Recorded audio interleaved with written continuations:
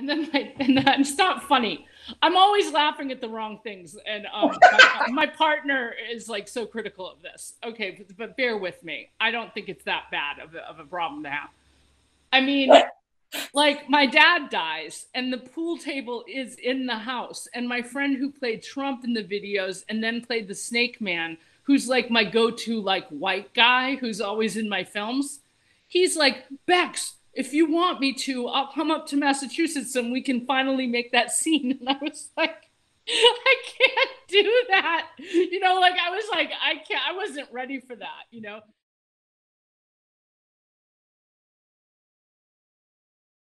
So when you do your, okay, since you're, since you're in all these different materials and you're doing ceramics and you're drawing and you're videoing, do you have do you start with the drawings and then go to ceramics or is it just kind of does it ch- interchange all the time or you know do you do like um do you do a drawing of her first and then it, make her or? It's it's interchangeable but it's really it, it but it's it makes it it's not necessarily it's a great question. It's not necessarily any kind of like straight line for me.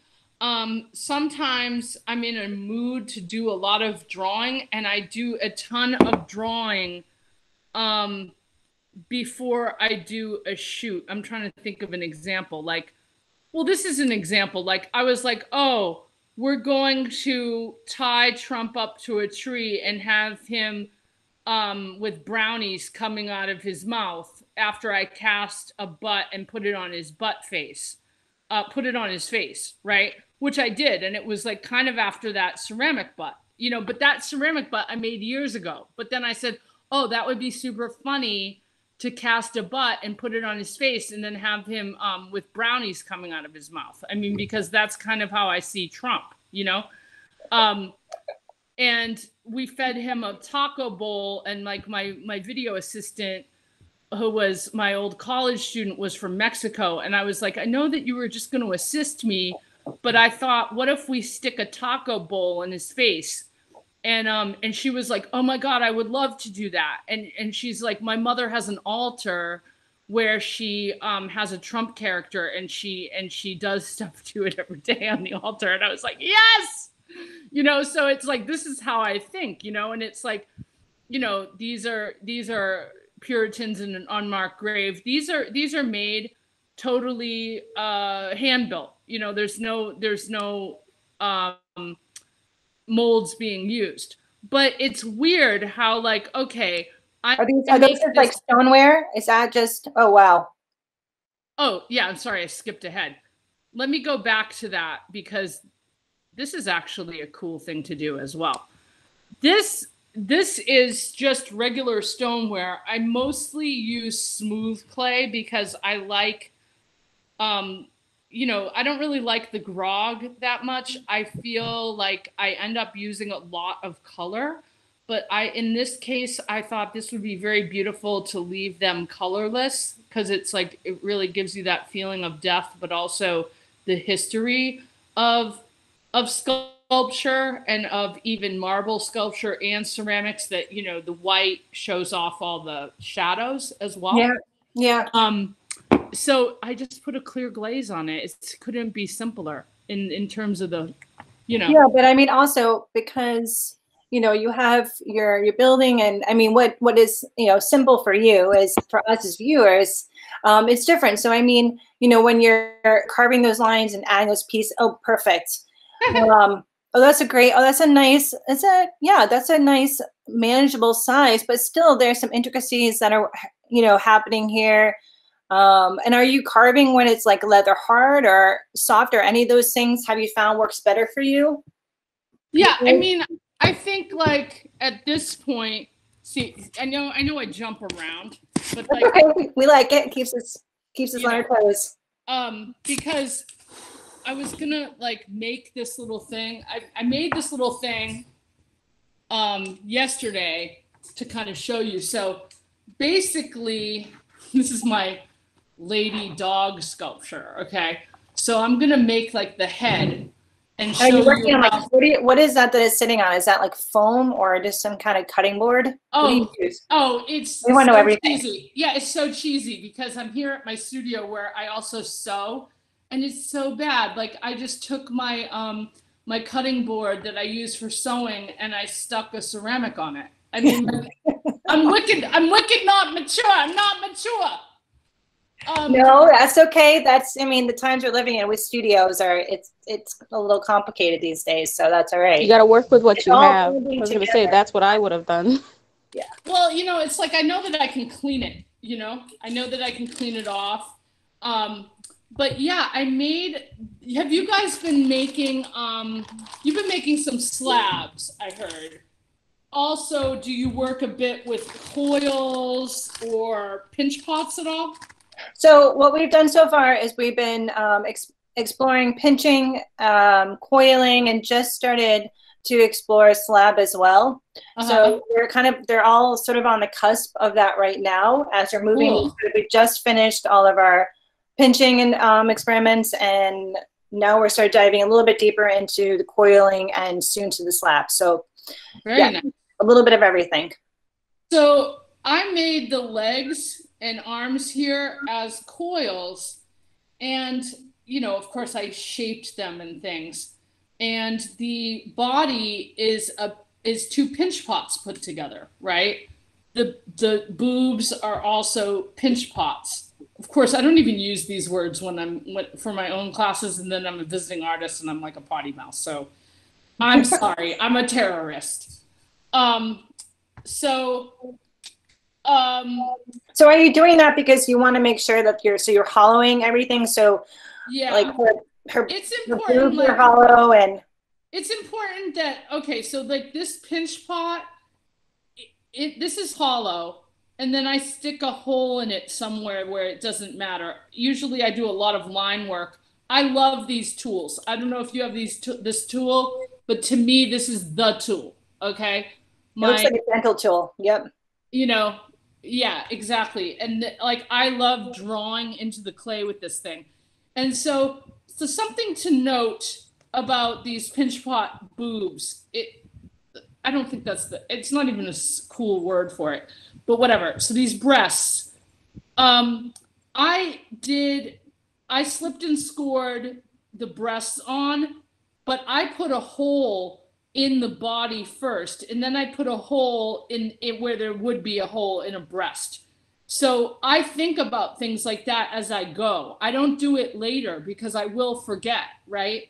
So um but i just redid that because i was like okay just in case i forget.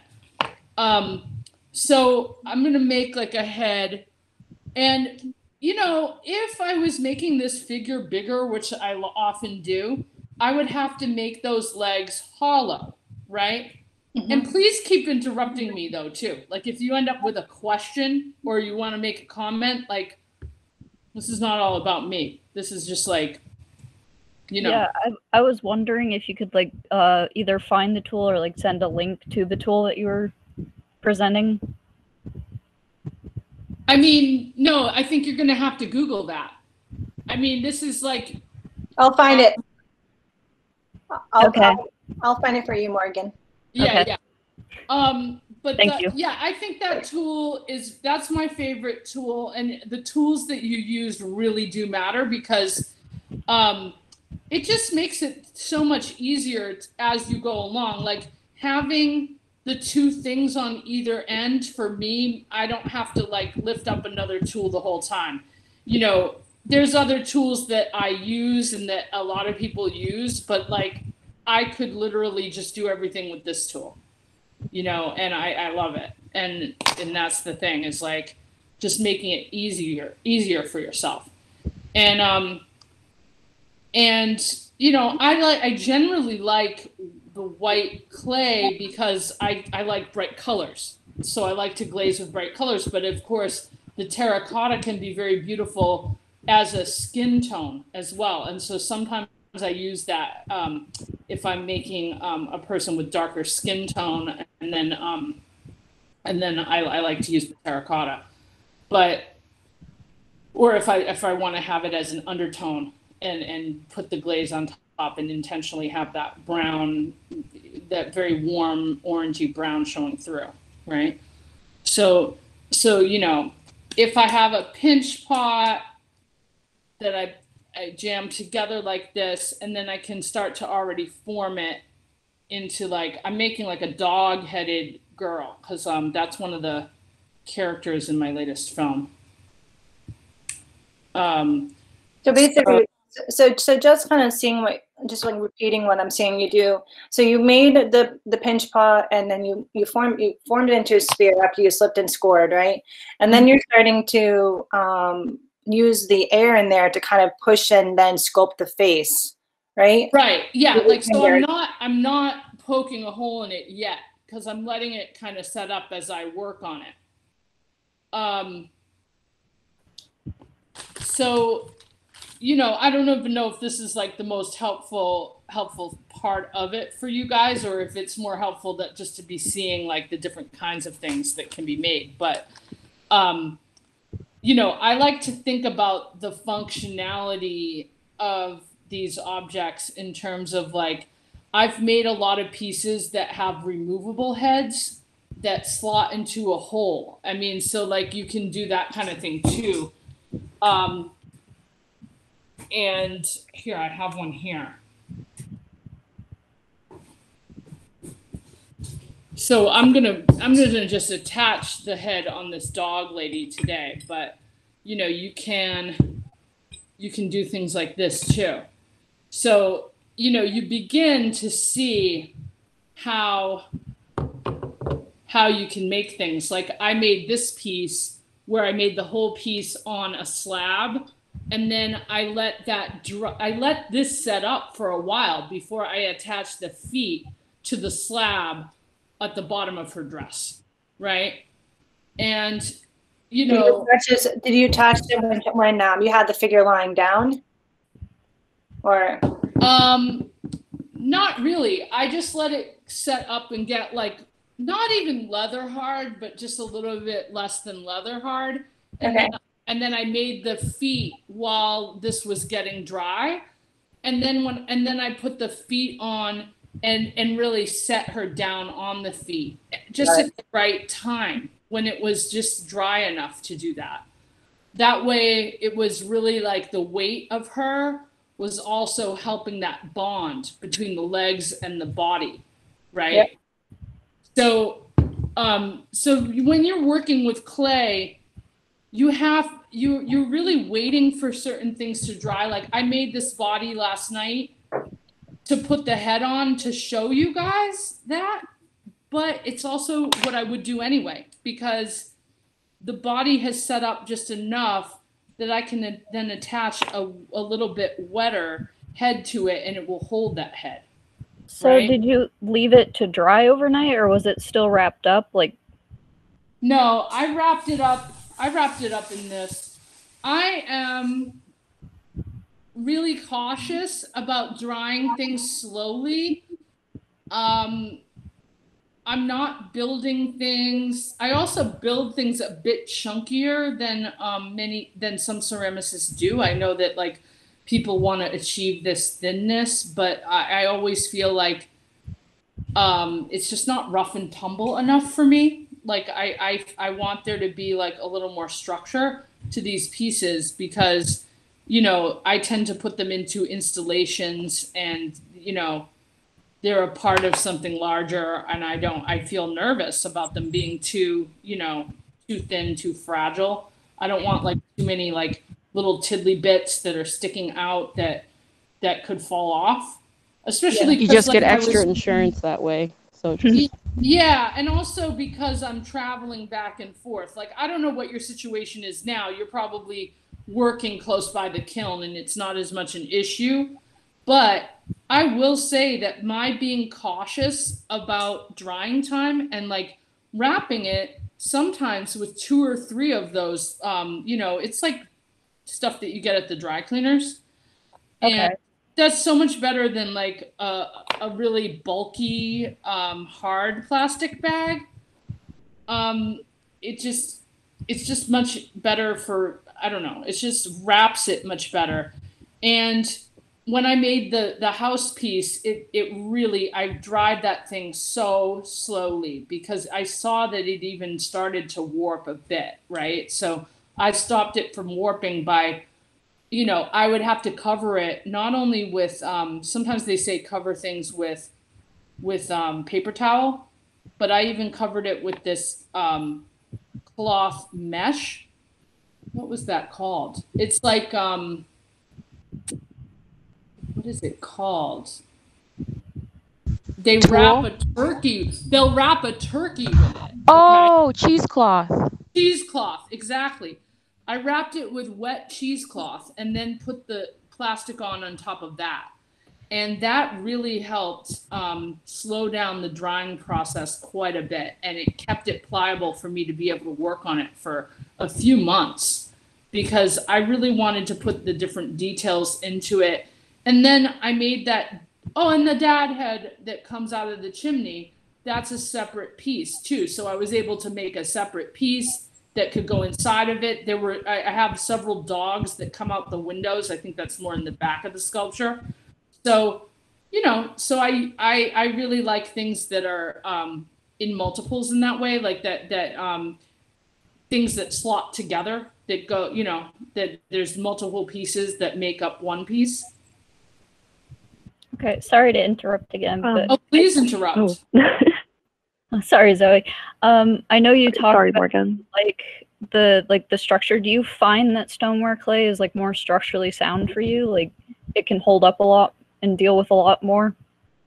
A lot more than like than what? Like than Uh, porcelain? or right now we're working with like earth earthenware clay, so like I'm I'm just curious like what your experience is with like stoneware, compared to earthenware. Uh, well, now that you say stoneware versus earthenware, I mean, I thought you were saying stoneware versus uh, porcelain or something. Um, what is it? I mean, I'm using sculpture clay. I'm using smooth bodied high fire clay. I'm using high fire because fire. what? We are we are we are a low fire, low to mid fire. Uh, Okay, but right now, but yeah, but right now we're working with a, a terracotta earthenware clay that has a lot of great plasticity to it. Um, however, we, and really, it's really holding form form well. However, it does easily kind of want to crack and and and dry. So one thing we have been working with is spraying down paper towels to wrap around our pieces and Huh? plastic bags around them to to kind of give them a chance like you're saying for them to sit up Right. and during the process and that's a lot of what we're kind of working with with this clay Awesome. but I mean, you know, I think that um, I was working for years with a low fire clay as well, and um, and using. Do you guys use like um underglazes as well as glaze, or do you, do you or do you do you make your own glazes there? we are going to be we do not make our own glazes but we will be doing some underglaze but we're working on with commercial glazes yeah Yeah, I love I love like Amaco's velvet underglazes. I use them in everything that I do, and, I, and those go low fire and high fire. So what I love about that is that if I switch kiln environments or clay bodies, I can still use my my underglazes at least. Um, but the clay studio that I was teching at a clay studio all of last year, and, and in exchange to to make my pieces, and they mostly did high fire. So seeing that like they they did they turned over the high fire kilns so much more frequently, um, I started to experiment with high fire, and at first I wasn't getting the colors that I wanted, and then I found out about a zinc based glaze that I could use um, to really amp things up. Oh, am I? Sh- I haven't been looking at the chat. Did did we just get any questions in the chat, or that was well no I would, I would prefer you guys all just to like unmute yourself and to ask a direct question just because it can get lost and because you well because you're using your hands you can't really I- be yeah, I'm really in my play and then over here and yeah um. Um, But oh, yeah, sorry. the- I, Michaela, was, go ahead, was, go was there Zoe. a question in the chat? sorry, is it okay if I interrupt for a second? please Zoe. Hello.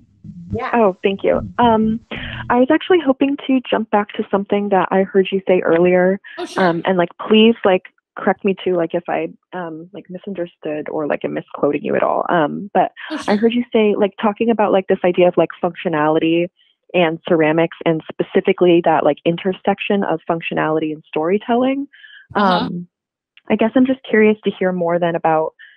I think like your notion of what a functional object is then within your work because I know that that's something that I try and think I've been trying to think about a lot more like within my own work is Uh-huh. um, how can functional objects still represent that function but also represent a place within a narrative either through like qualities of that object or through removing it from its intended context and i guess it's just interesting to see how storytelling is still playing into the functionality of your work especially in terms of like the removable heads and how that yeah. kind of like functions on its own. And so I would just like to hear more, I guess, about your again like idea of um, like functionality within your work and specifically how you feel like that crosses over with storytelling as a medium.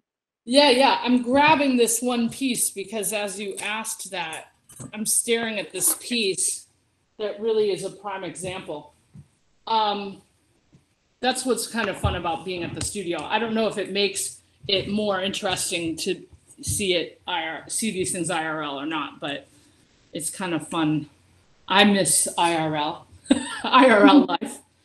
Um, yeah, so this uh, piggy bank bride that I made was one of the first um, bride sculptures that I made, right? And um, and that's where I was thinking about this idea of of function, like that she's really a piggy bank, and that I actually thought about how I did not make at the bottom a way to get the coins out, and so the coins just go in and they don't come out, right? So um let's see, I can get her groom too. Her groom is pretty cool. Hopefully I won't mess him up with my clay hands. Um you know, so this is um Megabucks groom and uh and the uh piggy bank bride. And you know, it's like kind of funny to think about how like short the you know I made him purposely smaller, more diminutive than the goddess uh, was. Uh, I also thought about sort of the corruption of wealth, and it's kind of interesting right now where we see people um, checking out Trump's taxes and seeing that he's not quite what he thought what we thought he was, or maybe we all a lot of people knew what he was, but you know he's not worth as much as uh, he acts like he is and so that it's actually very similar to what i was thinking about with the character ripped Those are actually up. really funny when you think about it, because a lot of the time, we we like the story we're used to is like the dude's gonna be the provider, but me and my, my friends went on a walk the other day. and We heard these two dudes talking about how they're mooching off this guy's girlfriend because she has all the the subscriptions, the Wi-Fi, like literally everything she provides herself. right. That you know what? That's so um contemporary isn't it? Like oh man i'm using her netflix. You, you know? Wow i'm really getting over. You know it, it's like Yeah. yeah, I remember my boyfriend getting very excited when I presented the idea of like just us splitting checks or like him buying one meal and then me buying the next meal and like things like that. And he was just like mind blown. And I was just like, isn't this how it should be? I mean, I have no idea how it should be at this point because I don't know that we're in any kind of normal economic situation at this point. You know what I'm saying? So it's like, Well, now it's a free for all. Yeah. time, it's a yeah, yeah. survive. like, uh, if somebody if somebody made money that week, they might be the one paying for dinner. You know, um, not to be bleak, but you know, um, but yeah, I think that it's super interesting. Like the the the first time I made the removable heads too, I made a trophy bride that I had removable sports ball heads as her head. So she had one normal head, but then she had soccer and tennis and football, basketball. And I, I put the peg, I made a wooden stand for it, and I had the, the pegs in the wooden stands around uh, at the, you know, as the base. And you could play it like a game, you know, like you could put the head in according to whatever um, is on TV, what sport is on TV at the time or whatever, right? So like the idea of almost um, uh, what what do they call it? Like a football widow, you know, like this idea, like um, the woman who's making, you know, um, oh, yeah, I'm seeing all these great comments pass by. I I can't touch the screen, so like I see the comment once in a while, but I have clay. Uh, someone, someone was just saying that traditionally the man should be the main provider, and uh, Zoe responded, "Hmm, not so sure about that, lol." And I just responded, "I'm not exactly traditional." Right. I mean, look, we are not normative. We're not normative at this point in time anyway, and like we're questioning these norms more and more every day. I mean, because by the time like a few generations from now, gender nonconformity will be will have been, you know, something in place for like more than one generation, right? So then we're going to see the breakdown of of this norm core structure being so oppressive and present anyway. We're actually in the process of breaking that down right now in a Yeah. way that might be like might create something so much more interesting and is creating something so much more interesting, you know, um, than ever before. And I mean, and so my work does attack um, heteronormativity, which I, I didn't even know until I recently took this amazing um, anti-racist workshop at the Brooklyn Museum.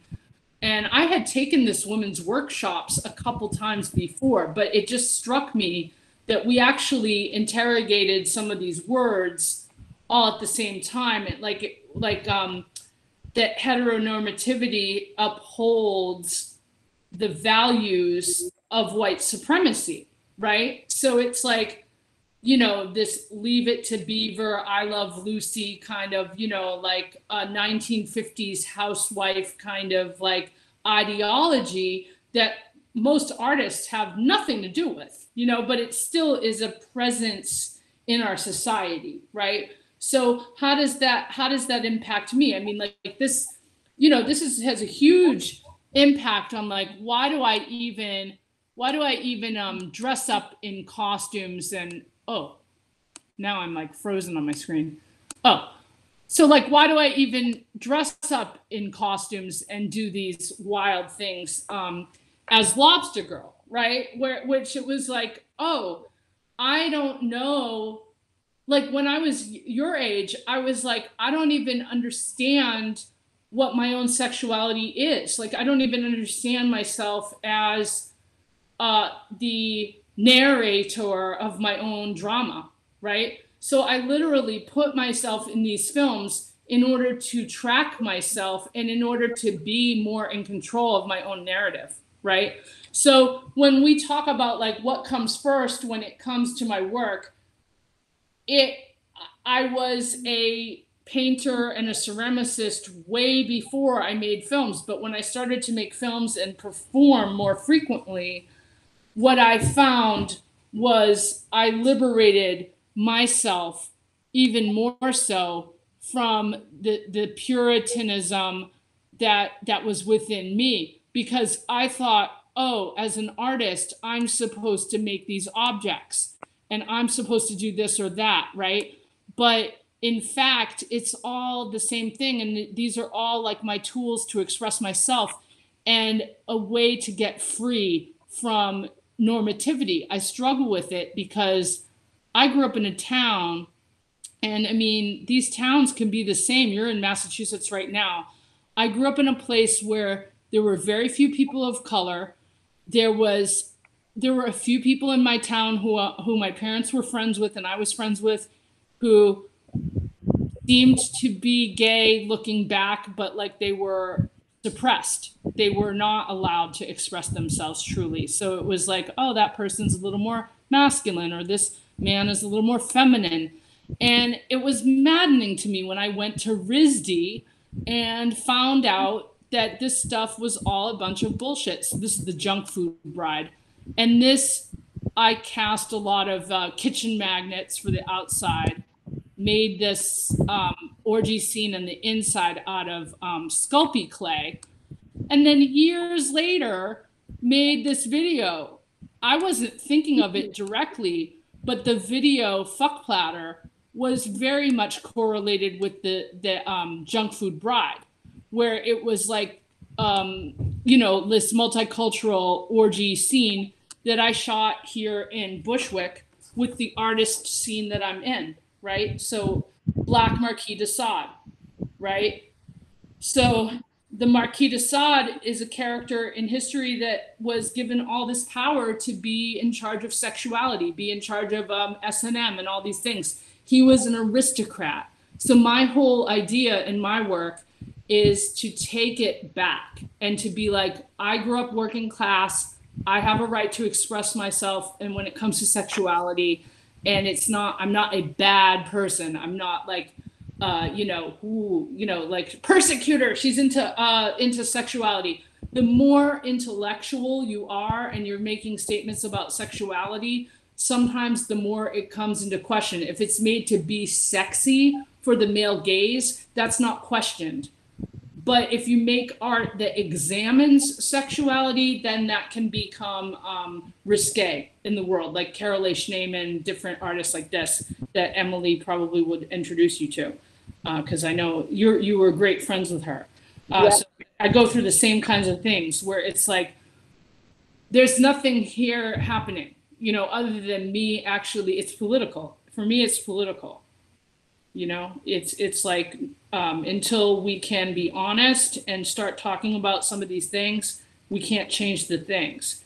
You know, what medium is good for what I don't know, but what I love about clay is that there's a feeling of, um, for me, for the way that I work with it, Americana and um, and folk art and and the idea of storytelling and the idea of how ceramics has always told our story. That's I really like so bride in that sense because it feels like something that you could just have sitting out on display and like have a kid come up and open it and then ask what's going on and like just having that abil- ability to then start a conversation yeah. And also, you could, and that, like, what I love about those hidden pleasures rides, because I made several different versions of that idea.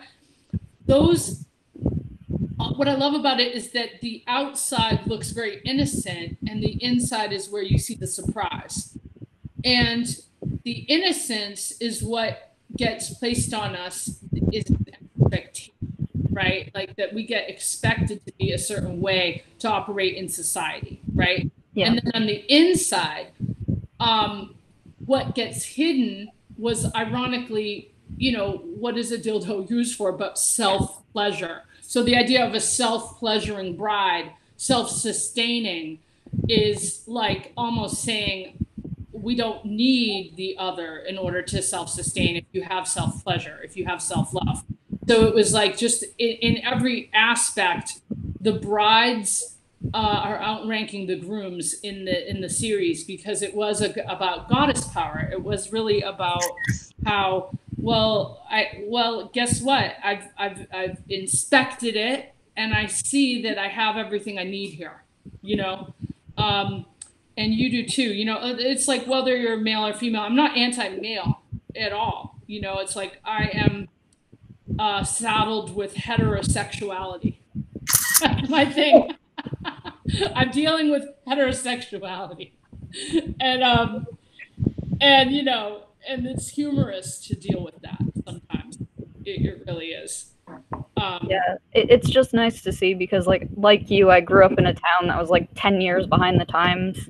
Right. And like one of my black classmates got the police called on her because she was standing out at the bus stop without on the day where like all of the other white kids including myself were not there to wait with her wow so it it's just nice to see like this perspective and like this sort of shock value because like I saw that and I heard that growing up and like you're not supposed to do these things. You're not supposed to be self-pleasuring. You're not supposed to love yourself, you have to have a man to do that for you, which is why I'm probably very non-traditional now.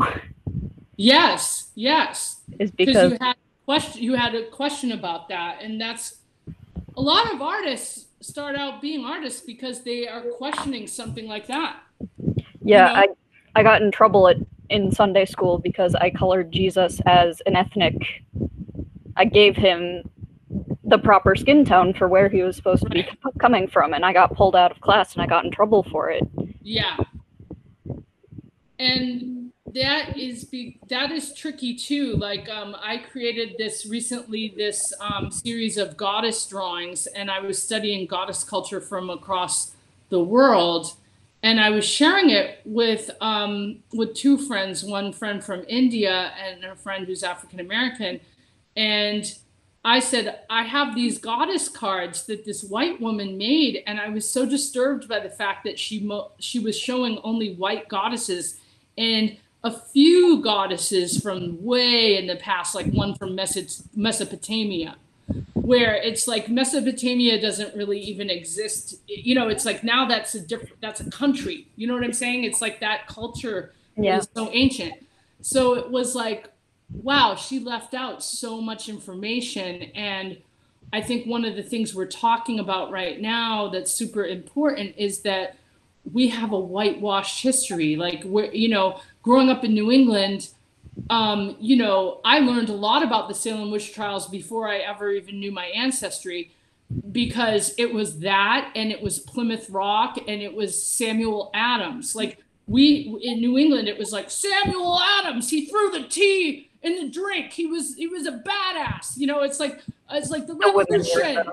You know, and that's fine. But it's like we learn regional history, and we don't even know that we're learning a regional history in each region in America, and that we are putting ourselves above other people in other regions of America and saying we're less racist than the racists in the in the South or something like this. This is not helpful, you know. And it's like, so I said, let me let me make a more international set of goddess images. And my friend was like, I don't like the image that you made of Kali. This is not well researched. And and she said, I you've got to find a different way to do this. And I was like, wow, yeah, because it's like, who am I to be the author of that too? So it gets super tricky. How do I manage what I'm doing in terms of um in terms of like who I'm I my work? Well, well, I think I think Rebecca, you bring up a good point, and Morgan, what you're talking about is, you know, as artists, how do we, how do we take liberties in terms of how we're translating or trying to re-represent or bring out those questions about how we're perceiving our perception on what is true and what is authentic or not, right? Right. Um, and that's a lot about what's going on in society right now is the question of authenticity a lot right now. What what is Yeah. truth? And and how we are portraying, um, in, a, in a sense, even the idea of just memory, right? So how that is translating is, you know, a lot of your work, Rebecca, is this narrative, but a lot of it comes through memory. You know, Yeah. of you kind of bringing things to a present moment, kind of the memory, the history of of here to there, making different correlations, making it Yeah. past and then present, right? And then kind of and putting yourself as this new narrator on on how we're on how you're identifying and telling your story in in this in this bigger story that we're in together. So Right. And then when it comes to in my drawings and in my films, when I'm incorporating characters who uh, who do not share the same cultural background that I have, that ha- that has been working for me so far in the sense that I'm mainly depicting personal narrative with that. right. And my personal narrative is that my world is not populated solely by white people, right? So, like, for me, it was super important to say, let me share what my world actually looks like. Because if every figurative artist who's white only depicts white people, it's like that becomes a racism too. Like, like you know, John Currin, it's really great to see his fleshy figures. Um, but it's like always the same flesh. And it's like, so I said to myself, let me change that. And, um, and, uh, my partner is black and I've put him in a lot of drawings and, um, and that has become a, a point of consent between us, you know? So like, that's one way that I work. And he was saying, like, uh, in response to what you were doing with, um, showing Jesus as his true color, I made a film and made this ceramic object of Virgin Mary. And he was saying, Why did you cast this white woman as Virgin Mary in your film? And I'm like, But I had Virgin Mary getting um, having sex with God in the film because it, it, like having sex with an invisible character again self, it was self pleasuring but it was like she had sex with God. That's what I think is amazing about Virgin Mary. I said I'm saying all these things that are that could be considered very controversial by religious people right? I Well, yeah. live I live in a neighborhood that's very um, religious like there's there's um virgin mary sculptures all around in my neighborhood like in you know in Yeah, it's, it's. I mean, I feel like Brooklyn overall is either it's very Italian and very Jewish, right? So i'm on a block that's very old school and i have to say old school italian when i say that because there, there's many italian people that are yes, very different from each other like i'm not here to like narrow it down but this is like a very like you know Catholic. old school Italian block. Uh, also Polish and like and there's a lot of Virgin Marys. So I said, listen, I'm not commenting on like what I I agree with you. Like this is not you know this is a depiction, but I'm actually commenting on that depiction itself. I'm like I'm like counteracting that because I'm living here thinking it was cool at first. There's a, I love the Virgin Mary and I love these sculptures. I love grottos. I'm a sculptor. You know what I mean? I'm like I I'm made a a grotto. I made a grotto for the the that hill in the back where I'm sticking her. You know, so I love it. But at the same time, what I realized is that that neighborhood that I live in is very there's a lot of racism that's happening there and I didn't notice that until my boyfriend moved in with me. And I was like, god damn it. I felt like this is a totally uh, maybe boring. Maybe it's a boring block to live on but like quiet. And then it was like oh god i have misjudged this situation.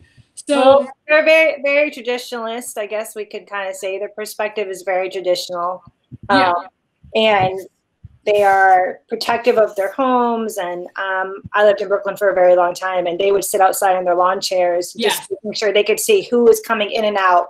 Yes So I think people, and that's fear, right? So Yeah. I think a lot of it comes down to having this fear of wanting to just kind of, you know, a lot of people who came in from different boats and holding on to their tradition of having a sense of place where they feel like they can relate. And this is something that was on for a long time and they tried to kind of reestablish that here. Um, and there was a lot of separation and now things are not.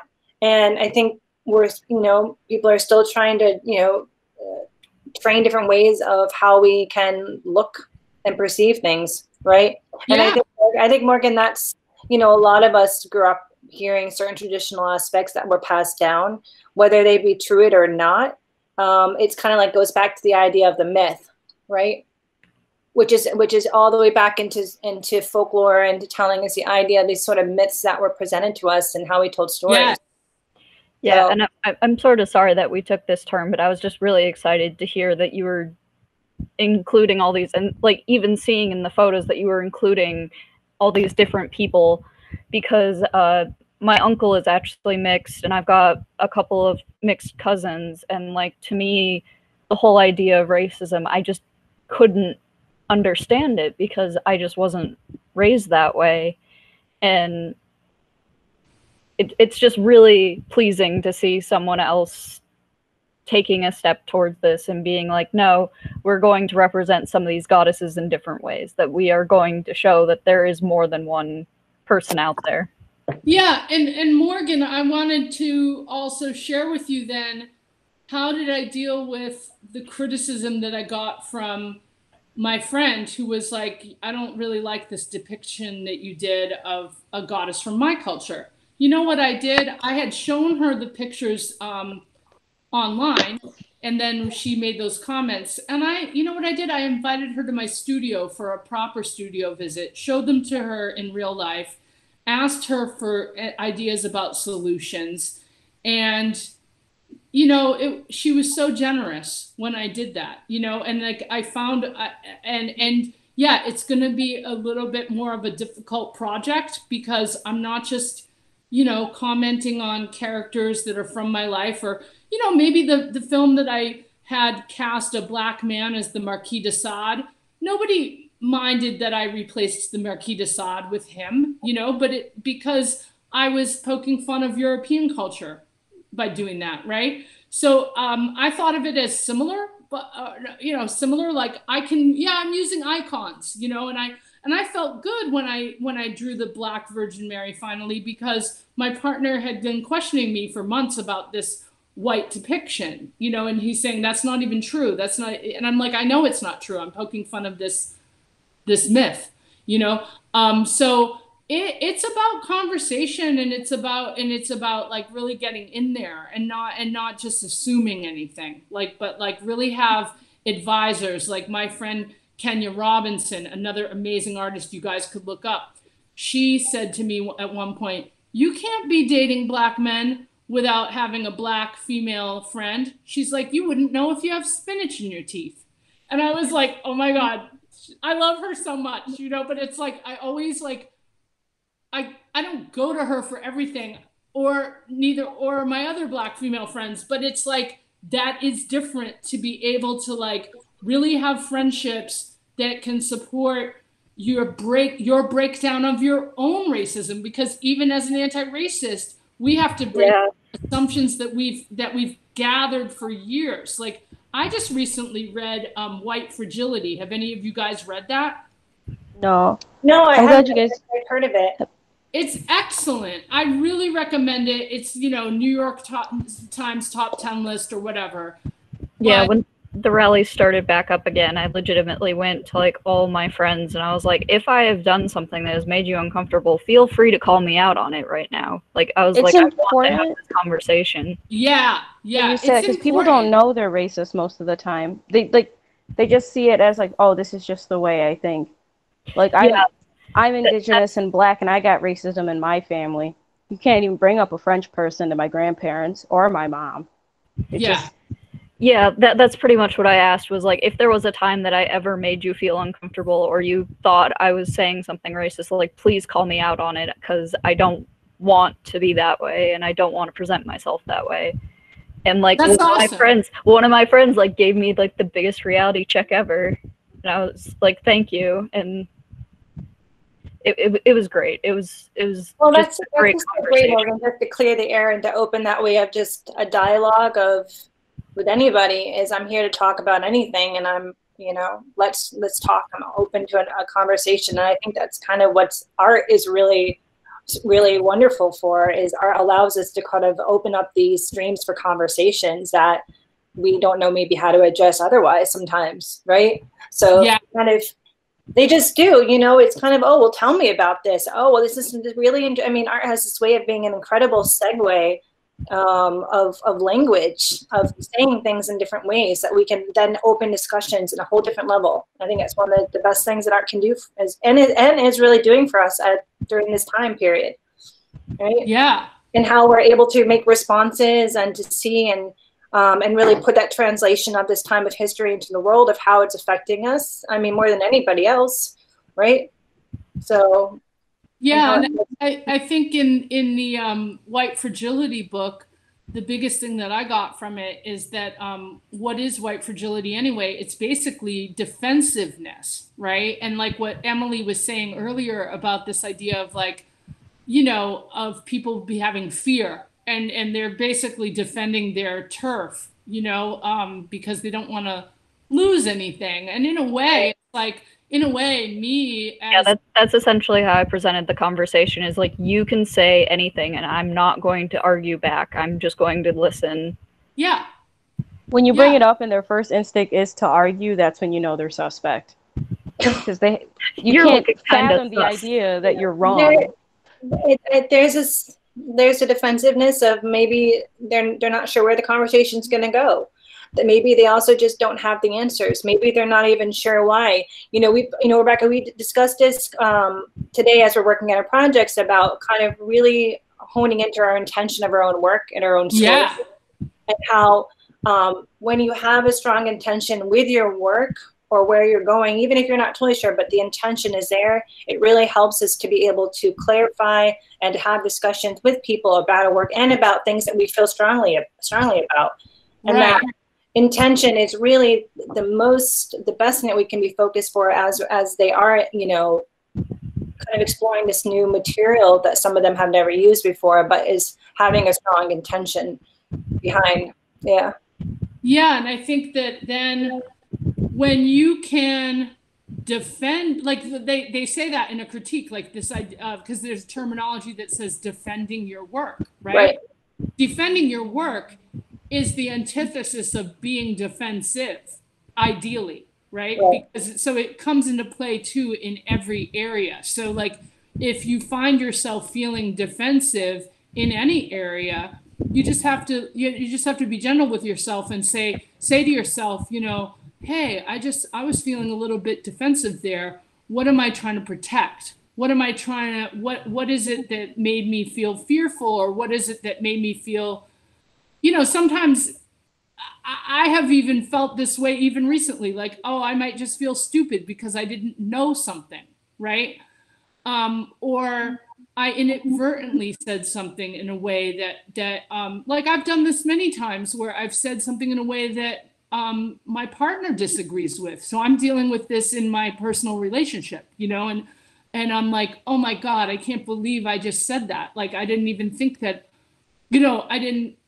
think that was bad or whatever. Like I said, I said something the other day about we've made so much progress since the civil rights movement and the women's movement and I hate to see this administration tear all that progress down.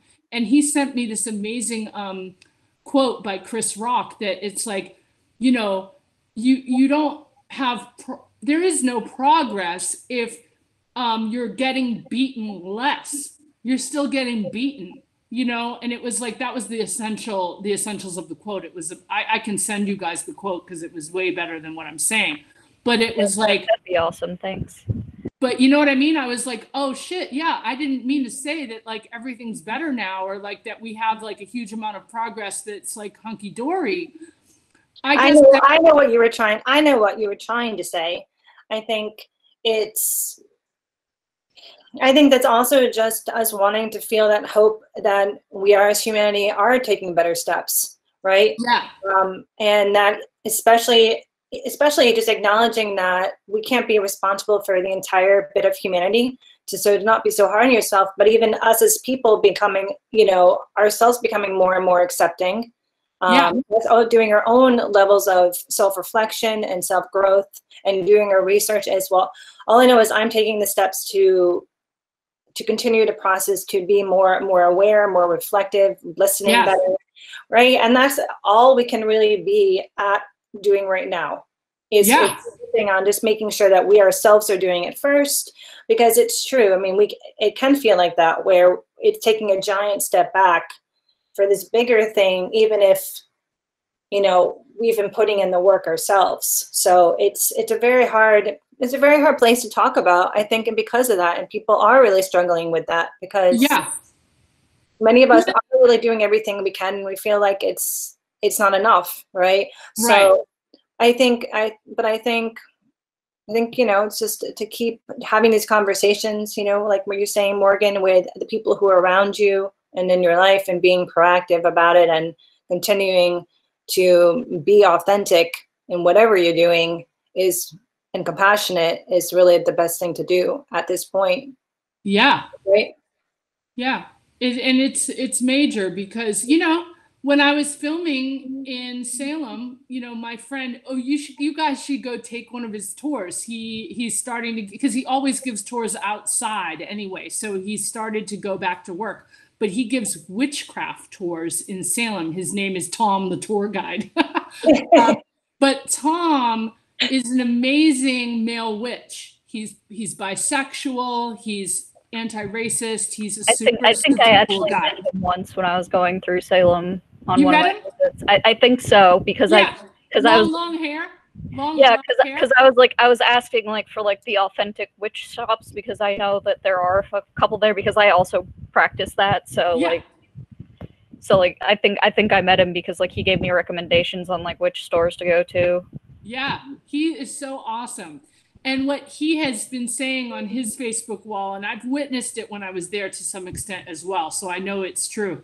There are people in the witchcraft community who are white supremacists. And then most of the witchcraft community is super anti racist, super feminist men, super amazing people. But then you've got these people who are like, they studied witchcraft from the perspective of like I'm only into Nordic traditions or I'm only into pagan traditions from Celtic, you know, Celtic lore or something. And they get so deep into that that it it circles back to being, you know, pretty Racist. racist, right? Those would be the same people who use white sage to smudge also. Yes. Yeah. So My God. there is a whole movement to decolonize witchcraft. I mean, and one of the things that was said the other day on, um, you know, it was just a meme that I saw, but the meme said, you know, hey, how to decolonize your altar. And basically, it's like make it yourself. You know, don't Well, I think go that's- buy a five hundred dollar crystal that got mined from some cave, and you know, Yeah, I, f- I, I love finding my own rocks. Like I love going to the beach and like finding quartz and like polishing it up and like cuz also then you like have that connection and you're putting energy into it and like I really hate that there are so many like white run witch shops out there that really just Well, focus on like the very classic traditions and aren't Right. very open-minded. yeah, I know. And and so Morgan, that is life. Unfortunately, you know, for better or for worse, I think that um, you know, that's I mean, that's something that's being really kind of torn across right now is this idea of again authenticity, right? Is that I don't want to have sushi unless it's given to me by someone from Japan. I don't, you know, this and that, and I'm I'm bringing that to a lighter in a lighter direction because I think that most most important is just I mean is to have the authenticity within yourself and the intention no matter what especially as an artist one of the most important things is having that authentic voice which is yours.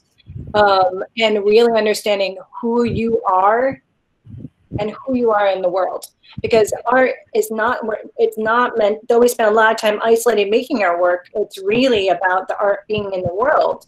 And really comes alive when we have discussions and we, we meet with other artists or like rebecca was saying how she brought that person to over to her studio and had a really great discussion about this piece that she made and those are the things that as artists really kind of get us making us feel alive and that this understanding and that this this quest that we're on or this these intentions of these ways that we're working are really come alive um, Yeah.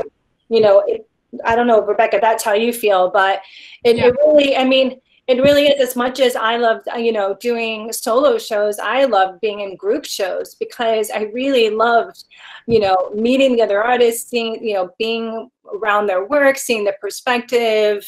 Yeah, um, it just to me it was one of the really really the best parts because i think when we work with other artists we we kind of remind ourselves about how important it is to kind of own and own and honor your own voice and what we learn from each other and how we respect you know we see these different ways all these perspectives and viewpoints of i Yeah. can make work you know rebecca and i make work completely different you know but there's um you know but we honor in each other the different levels of of what each of us do for different reasons and i Yeah. think what's really so you know so supportive of artists and how artists need to be supported together in our No, own and and say and speaking on that, Emily, it's like you know, I really love the pieces that you've done where you where you take the um the lines that are in the middle of the road and make that into sculpture and make that into this like wild, like curvy, curvilinear public art. And it's like